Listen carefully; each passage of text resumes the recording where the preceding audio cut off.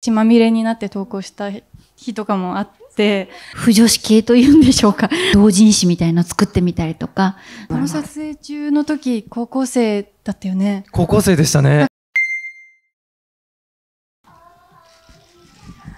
はい、いただきました。ありがとうございます。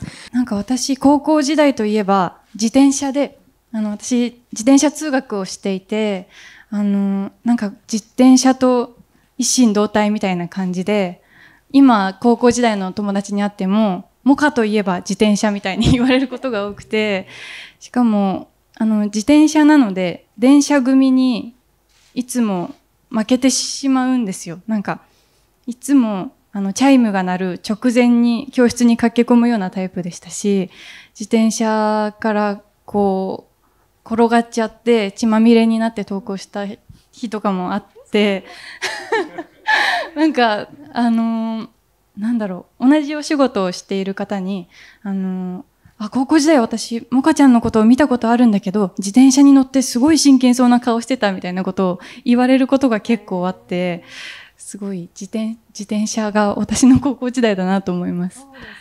あの水泳をする役が続いてますけど、はい、その自転車で鍛えられた脚力というのは生かされてるんですか？そうなんですかね。何回も転んで血まみれになったのでそういう強さは身についたかもしれないです 今で言うところの不女子系というんでしょうか あのあの満研のあの部長さんとかやったりしてたので、あの、そうですね。えっ、ー、と、同人誌みたいの作ってみたりとか、なんか、あの、漫画だ、アニメだって言ってる、あの、女子高生でした。じゃあ割と南ともじくんには 近いところがあるそう。だから今回のね、あの、コテコの、あの、魔法少女のあの、下りとかも、なんか私的には、なんかちょっと燃えるものがありましたね。はい、はい。すっごい共感した。うん、自分がハマってたから。はい。